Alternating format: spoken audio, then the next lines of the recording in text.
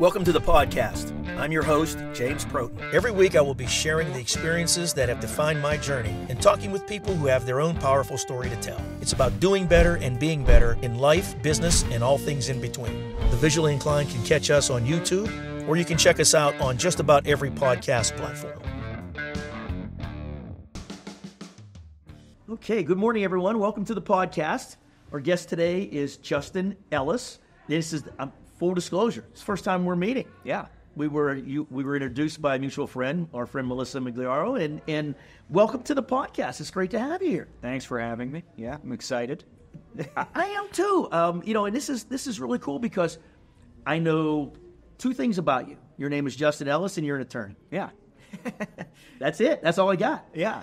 no, so one thing she, that, that she did mention is that you, you specialize in elder law in your your firm. Yeah. And uh, what being an elder, I'm very curious about this. I'm interested. So tell, let's let's start off with that, and then we'll come back around to some things. What what exactly is elder law? Yeah, uh, I don't think anybody knows.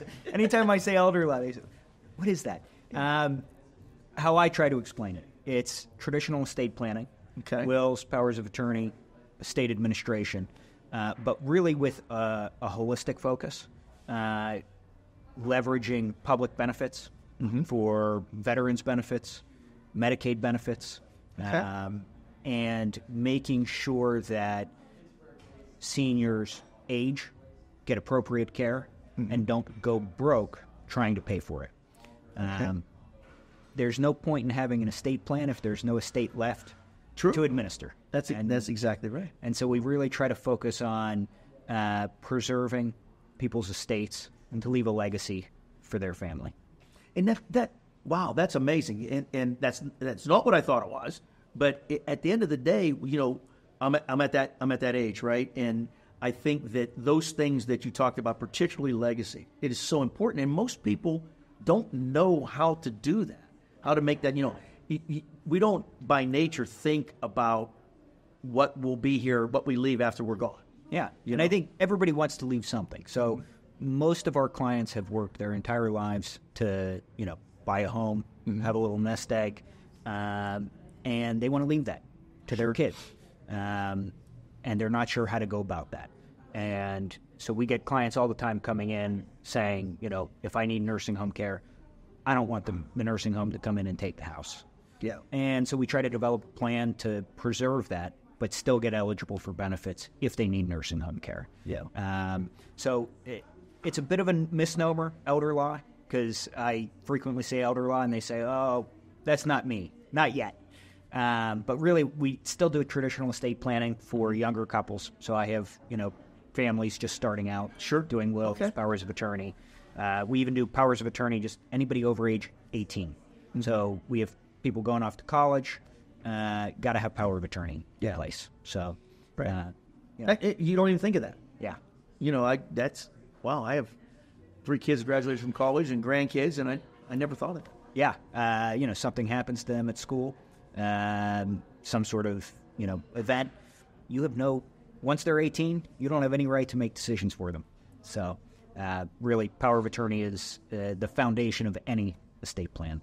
So that's so cool. That is so cool. So, okay, wow, interesting. So, you're a local guy. You said you grew up in Peters Township. Yep. Yeah. Uh, so went to Central Catholic High School uh, in Pittsburgh. Okay. Cool. I live in Vikings. now. Go Vikings. Yeah. Um, but went to Pitt Law School. Okay. That's actually how I got into elder law. I uh, had no idea that's what I wanted to do. Um, but Pitt has an elder law clinic where while you're in school you can represent clients wow. um, before ever taking the bar. Um, so really had my first taste of practice in elder law. Mm-hmm. Um, really enjoyed it and uh, you know, stuck with it. Was fortunate. So something wasn't on your radar when you went to law school? No, not at all. Uh, I knew I didn't want to work for a big firm. Wanted to work for a small firm, mm-hmm. um, but didn't know what I wanted to do. A friend of mine asked if I would do the clinic with her. Um, so glad she asked because uh, yeah, it really cool. directed me. So right, yeah. right, right. Wow, that is awesome.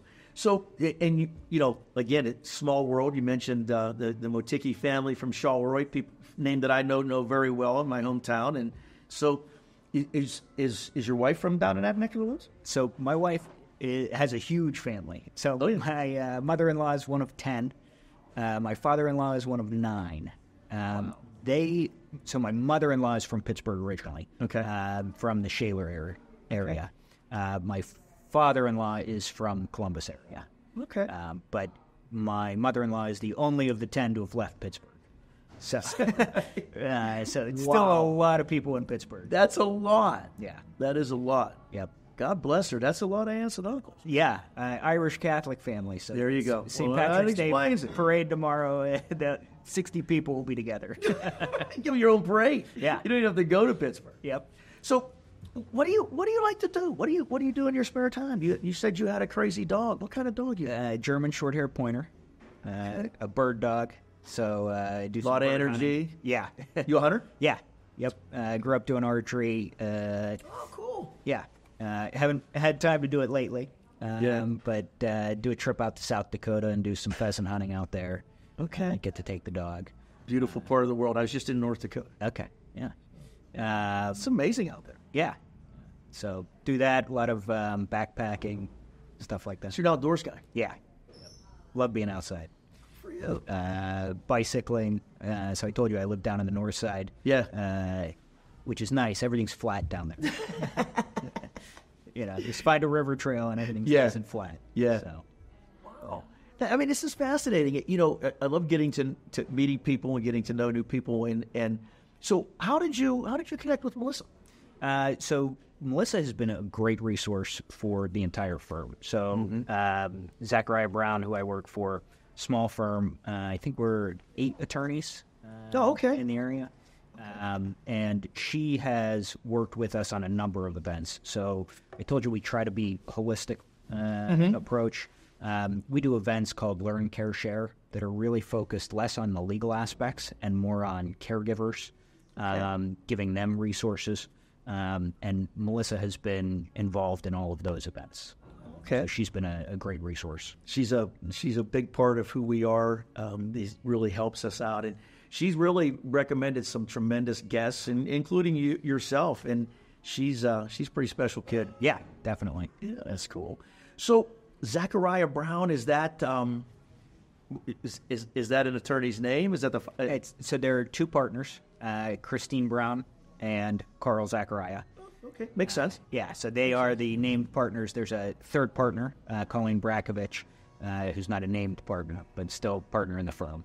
Um, and so they uh, started the firm. Oh, Carl's been doing this since like 1994, I think. Okay. Um, so, and I've been with the firm for almost 10 years now.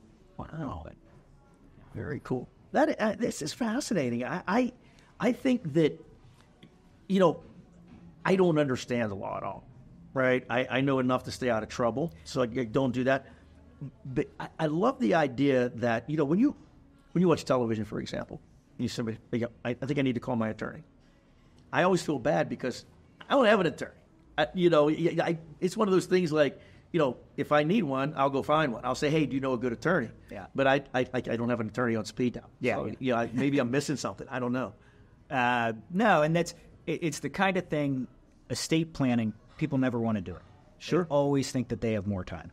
You know, they know I'm they. one of them. I, I, I'm one. yeah. So it's always you know, oh, it's it's on my list, but you know, I'll get to it. I'm I'm good now. Um, we try to make the process as easy as possible, and my goal is, you know, you don't see me again for a long Yeah. time. Right, After, right, after you right. meet with me. Um, so we try to build enough contingencies into it, any estate plan that changes circumstances. You don't need to update your estate plan. Um, so you know, i it's the kind of thing people don't want to do, but once it's done, it's a relief. You're really happy you did. Yeah, and then you don't have to see me again. Yeah, right, right, right. Wow. See, you know, I think that, I think about it a lot, but it, but you're right. It's just like you know, I think about it. Oh yeah, I got it. I, I need to do that, and then six months have gone by and I still haven't done it. You know, and and it's like one of those things you just keep kicking that can down the road because you think you have time. Six months becomes a year, and Right, you're a right. decade on, and yeah, Right.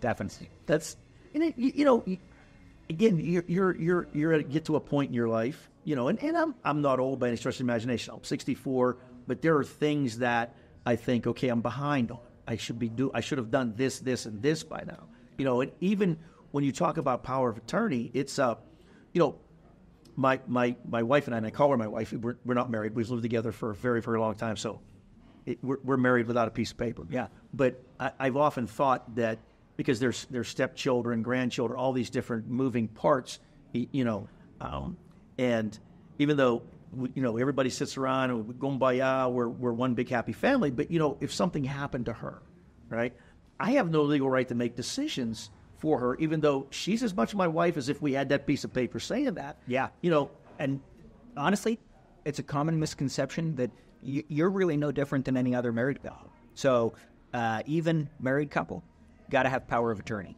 See, because I didn't know that. Yeah, something happens to your spouse just because you're married doesn't give you the legal authority to you know sell property, uh, make legal decisions. You got to have power of attorney even for married couples. That's see, that's amazing. So I was wrong. So now I actually technically don't have to get married, Right. Because we, Other- the, other the ship has sailed. The yeah. So because my thing was, you know, it, it, it, w- see her her thing is, well, you know, we've been we've lived together for over twenty years as husband and wife. What's going to change if we get that piece of paper, other than having a piece of paper? Yeah. And my thing was, well, all of these things, protections and different things like that.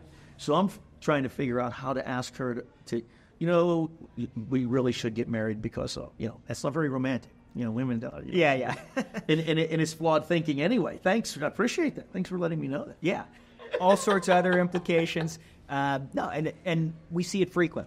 Mm-hmm. And I don't ever advise people to get married or not get married based on uh, legalities. Right. Um, Right. But I mean, things like um, you know taxes. Mm-hmm. So if you guys have joint assets, one of you passes away, you're going to pay 15% inheritance taxes. Whereas if you're married, 0% inheritance tax between spouses. So again, every situation's different. Uh, I wouldn't tell you to get married just to avoid taxes. uh, She wouldn't listen an anyway. she knows me too well. Yeah, but it's an you know an implication. It is, and, and you're right. There are so many, so many misconceptions about that. You know, just even just around the aging process in, in particular. There's so many things change in your life, and a lot of times you just don't see it coming. Yeah. You know, I mean, I was 44 last week. You know, now all of a sudden here I am, and and it it, it happened fast. Yeah, and a lot of what we do in terms of protecting assets, uh, it's a pre-plan where we're looking to get through a five-year period Okay. before we really see the true benefits of that plan. So I typically tell clients, you know, at very least in your early 70s, you want to consider to start doing some true asset preservation planning um, because we're if we're trying to get through five years, you're starting to get into your you know mid to late seventies, early eighties. Right. Um, you know, so that's really the the critical time uh, Yeah. if you're looking to do asset preservation planning. Right. But Right. again, really, I, I have clients that are in their twin, you know, twenties, thirties that have traumatic brain injuries. That Mm-hmm. if they don't have power of attorney, we wind up having to go through a guardianship process, court Yeah. hearings, and and it becomes a nightmare. Whereas if you sit down and do the power of attorney in advance, it simplifies everything for your family. That's a big deal. That's huge. Yeah. Nick, I, I think I have to give you power of attorney because like you spend more time with me than than Terry does. So we'll have to get you to not not this guy. Yeah. So, but uh, the, see, these are all things that, and I'm sure I'm not alone in this that I just I just haven't thought about. Yeah. I'm learning. Yep. This is cool. Yeah. So, so Justin is um, is an attorney. Zacharia Brown likes the outdoors. Goes hunting in South Dakota with his dog. What what what else does our audience need to know about you? There's something else out there. Come on. Oh, I oh, I don't know. That's a tough question. I don't like talking about myself. Nobody does. Yeah. No, no, but nobody does. And it's, uh, you know, I, I think that the the, the practice of law itself, w- when you think about everything that goes with that to get you to that point where you can you're a practicing attorney when you pass the bar and you're a practicing attorney it's a lot it's not just a lot of money investment it's it's a lot of time it's a lot of it, it's just a lot of everything Yeah. i think i think because of our legal system the way it is and our country the way it is. God bless it. I think it's still think it's the greatest country in the world. But because of our system of laws, I think it's harder to become an attorney than any other profession. I truly do. Yeah, I mean, I think the practice of law is where you really learn. So, you know, you go to law school, you take these classes. Law school is designed to teach you essentially how to be a judge, not how to be a lawyer.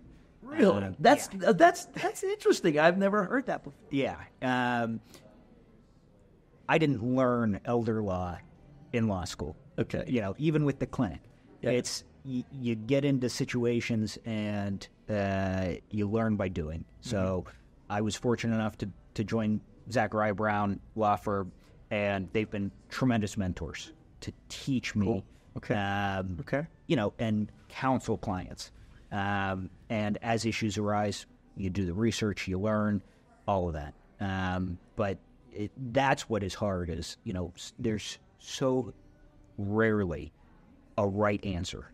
It's exercising judgment, and you Yeah. only develop that through experience. There's a lot of gray in, in law. You know, it's not black or white. Yeah. It- you know, it's everything's right here in this in this gray area. You know, when I, I spent my career in the engineering profession, you know, if you, you it's math. You do math. You, you do the calculation. You design something. You build it.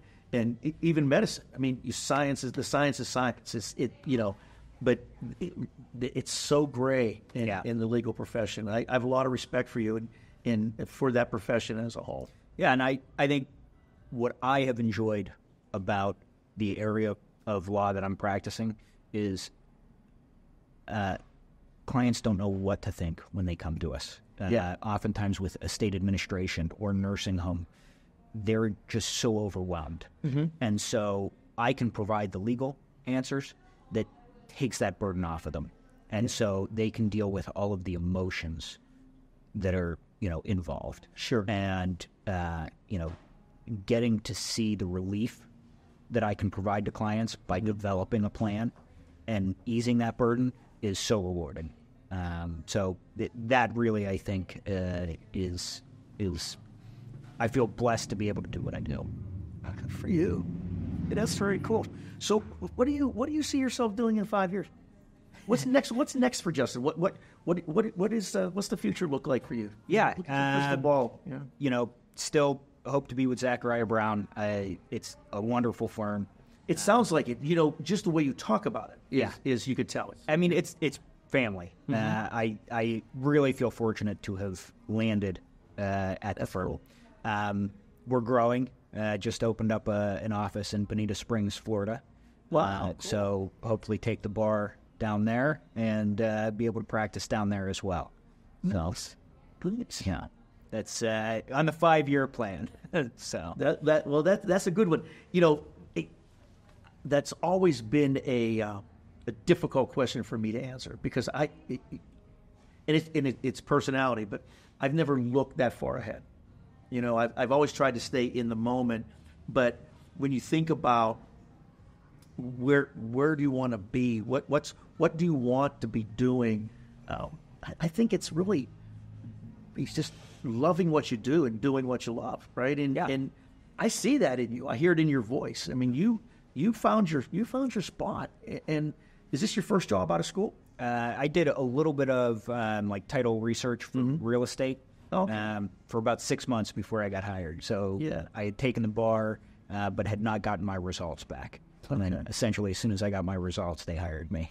So it was neat. You you were blessed. You found you found your family, your home, your first job, which basically first job, which is, you know, that's that's a blessing. yeah, definitely. You know, and if you could work your whole career there, oh my God, Yeah, that would and be that's the goal. yeah, that would be awesome because that's almost unheard of. Yeah. It's almost unheard of. You know, even even you know, we, we live in a very transient society. People, you know, you go to the, the next best thing. Yeah. You know. Yep. And, and loyalty goes both ways. Yeah, It and really does. You know, uh, the attorneys that have worked there, you know, we've had a few attorneys come and go, Mm-hmm. but the core of our firm have been there for a long time. The the basis our show, what we what we base it on. There's five pillars that my father taught me a long time ago: live, love, learn, pray, and inspire. And he always said that if you uh, if you try to do those five things every day, you're going to have a pretty good day, right? So, of those five things, live, love, learn, pray, and inspire. What what of those would jump out at you, and and why? What resonates with you? Um, hmm. Uh, I would say either live or, or learn are, are my two big uh, big ones. Um, I love trying new experiences. Mm-hmm. Um, and to me, that's what allows me to sort of live in the moment. Mhm. You had talked a, a little bit about that. Yeah. Um, and also uh, learn new experiences, new perspectives. And that's what I think also lends itself to, to being able to love other people. Sure. Uh, Right. And, and understand them. Um, so uh, I think uh, one of those sort of a mix. I mean, that's a great list. I mean, it could be, it, it, yeah, it could be more than one. It could be all. Yeah, yeah. You know, because I, I think I think they're all connected. Yeah. You know, and and it really, that's the order that that that resonates with me. That makes sense with me. But yeah, I think those five things can be jumbled around and moved around for, uh, Yeah. you know, to, based on life experience. Yeah. You know. Yeah. I people laugh at me sometimes because I just I love trying random bizarre things. I I, I started go karting recently. um, Was that just on a whim? You decided, no, I'm gonna yeah, try that. yeah. Uh, a Friday afternoon, I went to an indoor uh, go karting track. Uh, tried it, loved it, and then I joined a league, There's a go kart league. a go karting league. Yes, Really? Yeah, uh, it's a ton of fun, and now I'm interested in, in getting outside and trying it. And, That has to be very cool. I Yeah. love it. I didn't. I, I didn't know that. yeah, and uh, if I enjoy it, I may try to build my own cart. Again, uh, no background in Just automotive. Just, just- let's try this. yeah, so That is so cool. I'd love that. yeah, But that's congratulations. That's awesome. yeah. I like doing random things like that, trying new experiences, and meeting new people doing it. So That's living and learning, man. That's what that's all about. well, listen, thanks. I appreciate it. That is really cool. Good luck with that. thank you. that go kart lake. Who knew? yeah, I didn't know. wow. Well, I appreciate you, young man. Thanks for coming and joining us. Thank you.